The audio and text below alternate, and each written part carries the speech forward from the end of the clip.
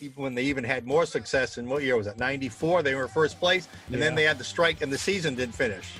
Right. They had Larry Walker and Marquis Grissom and Pedro Martinez and all those guys, and um, they were the, clearly the best team in baseball. Yeah. And then and the season was canceled because of a strike. Well, that's what's crazy. That killed the Expos, right? That killed them because then the next year they couldn't afford to re-sign a, a lot of those guys, and that was it. And, and I feel like at a point too, even in the '90s, it became Major League Baseball's farm system for all intents and purposes. Yeah, You had it did. guys like Vlad Guerrero and Jose Vidro and Fernando Tatis and Ugueth Urbina. I mean, and I'm probably missing Orlando Andres Cabrera. Galarraga. Right, like there's so many guys, and you just knew. I mean, you knew that it was those guys were gone after a certain amount of years. Randy Johnson. Right. I mean, I, as I said, I probably lost left so many off the list. Right. But I mean, years of pumping out. I mean, big time baseball players, Hall of Fame baseball players. I mean,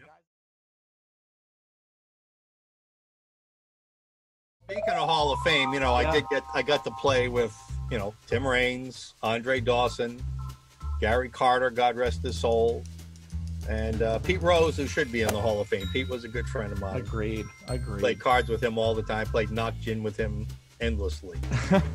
For money, of course. He always had a bet. You were inducted into the Cape Cod League Hall of Fame, which I find absolutely amazing in itself.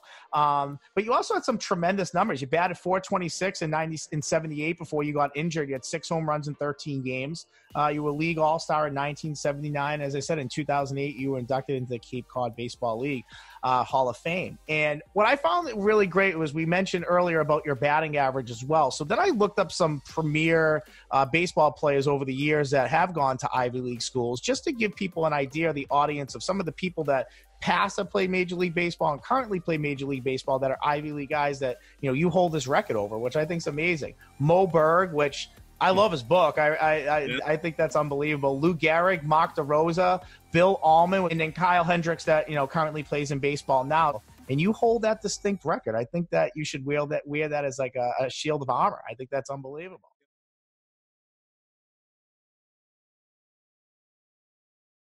You know, I didn't even know it till about I don't know what uh, five years ago. I I um, went to a reunion event at Harvard with you know just a regular 35th or whatever hell reunion it was, and um, and and I went to visit the athletic facility, and immediately any athlete that walked in, they, hey, we got this new encyclopedia of, or these new two volume, you know, history of Harvard sports that we're looking for all alumni to buy. So I bought it, and I'm flipping through, and there's baseball, and and all of a sudden there's this line in there, Stenhouse, who was the all-time batting average leader in Ivy League history. I'm like, what? Oh, I didn't know that. and I went back, I called the guy, I said, is this true? He goes, yeah, it's true. I That's said, "Oh, unreal. bro, That's pretty cool.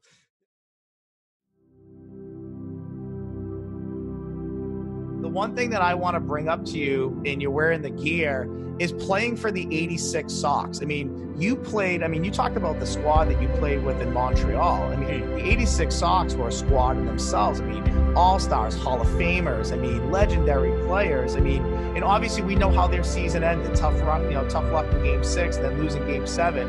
I mean, you played with those guys, you knew those guys. I mean, talk about that 86 team a little bit and what you maybe learned as a baseball player even if it was a short stint, playing for that organization and playing for that team that was a game away from winning the World Series.